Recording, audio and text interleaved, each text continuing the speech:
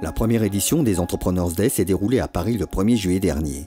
Pour cet événement organisé par Dem Agency, le public était bien au rendez-vous pour assister à toute une série de conférences, de débats et rencontres sur le thème de l'entrepreneuriat. Les intervenants d'horizons différents avaient à cœur de partager leur savoir, leur expérience sur des sujets allant du financement de projets jusqu'au choix du statut juridique. Sans oublier les coachs en développement personnel qui ont su trouver les mots justes pour encourager les entrepreneurs à gérer leur motivation.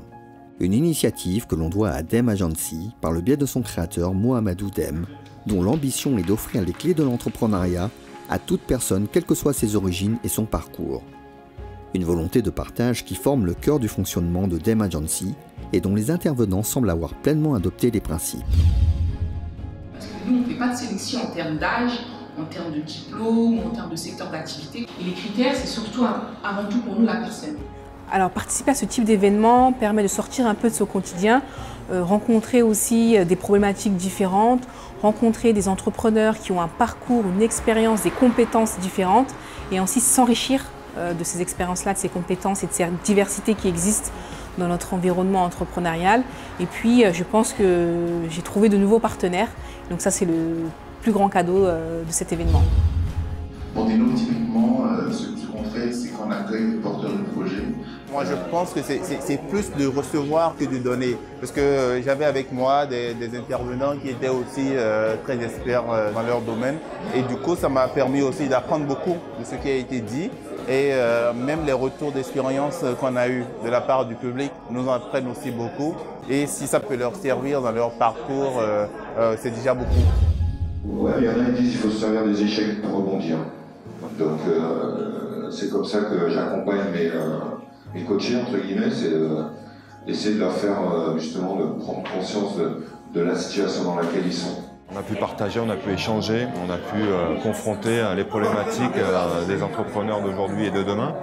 Et puis voilà, les speakers apporter en tout cas des pistes de solutions, des pistes d'évolution, des pistes d'innovation, et surtout un grand moment de partage tout simplement. Donc une très belle édition qui en, amènera une seconde, j'en suis persuadé sélectionne des profils et des potentiels de projets très forts, puisque notre objectif, c'est créer des employeurs. Ah, si vous voulez, c'est plus partager une expérience, partager euh, une, expertise sur certains sujets et, transmettre euh, à des gens qui sont en recherche d'informations, parfois un peu, un peu isolés ou alors parfois euh, submergés par la quantité d'informations. Et puis c'est aussi créer du lien, rencontrer les gens, discuter, partager des expériences personnelles et professionnelles et de la confiance, beaucoup de confiance. Et donc la manière dont, vous vous parlez à vous-même au quotidien va déterminer votre destinée. Donc oui, on n'est pas condamnés tous à l'échec, mais surtout, on a tous la responsabilité de réussir. Ça m'a inspiré, ça m'a motivé, ça m'a permis aussi de voir, voilà, bah, si je veux aller à la prochaine étape, continuer vraiment dans cette dynamique. Et je dirais le maître mot, c'est réseau.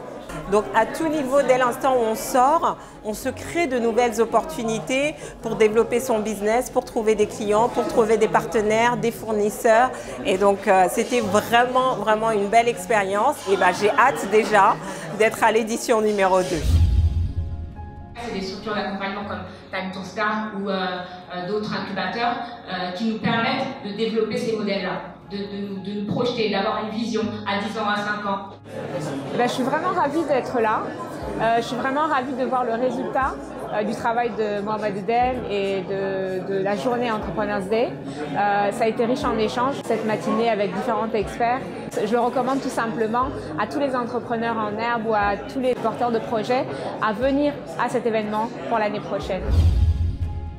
Les sportifs sont des entrepreneurs dans l'âme avec euh, porteurs de valeurs, de messages, d'émotions et surtout, comme je dis, on a, on a des valeurs comme le leadership, comme l'esprit d'équipe, tout ça bien, bien intégré dans notre ADN et c'est pour la vie, je pense.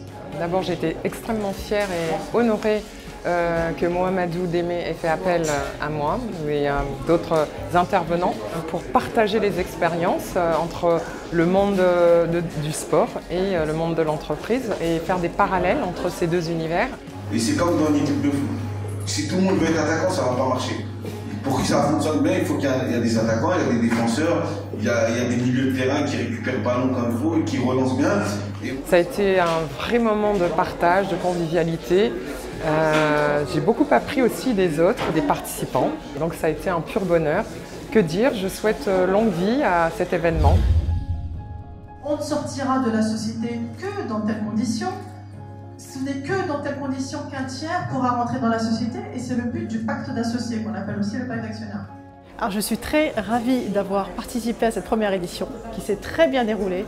Vraiment des personnes très intéressantes, des personnalités intéressantes, des thématiques qui ont été abordées étaient utiles et nécessaires pour les entrepreneurs.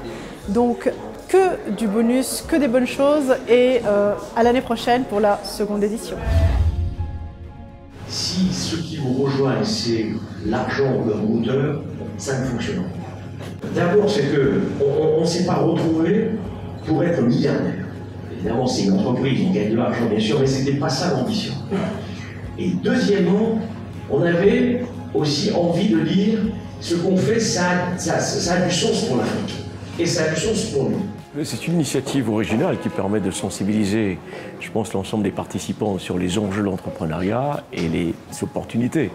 En tout cas, moi, me concernant particulièrement, on travaille beaucoup sur l'Afrique. Vous savez qu'aujourd'hui, c'est vraiment le continent aux mille opportunités et qu'il est intéressant pour ceux qui sont en France ou ailleurs de regarder ce qu'ils peuvent y développer.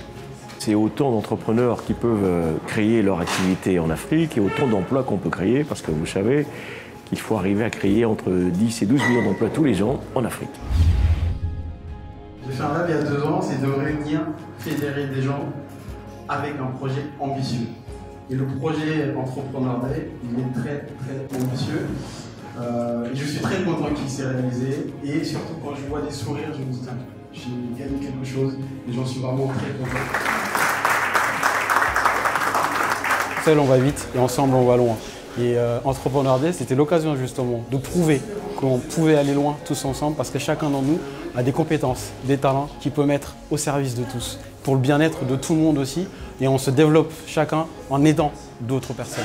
Et ça, je suis vraiment très content qu'on ait pu trouver des valeurs de solidarité de partage et surtout que des personnes aussi ont tout seulement ouvert leur cœur et apporté leur témoignage, leur expérience qui donnent envie à d'autres aussi de réaliser la même chose. Donc je suis vraiment très très content.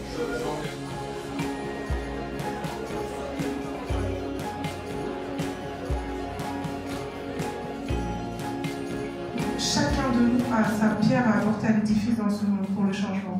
Et c'est en se dénigrant, en n'ayant pas confiance en soi, qu'au final, en fait, on fait rien et que le monde, il est comme il est aujourd'hui. Donc si chacun se réveille chaque matin et connaît son objectif personnel, eh ben, le monde il sera beaucoup plus meilleur. Voilà. Amour, gentillesse, partage.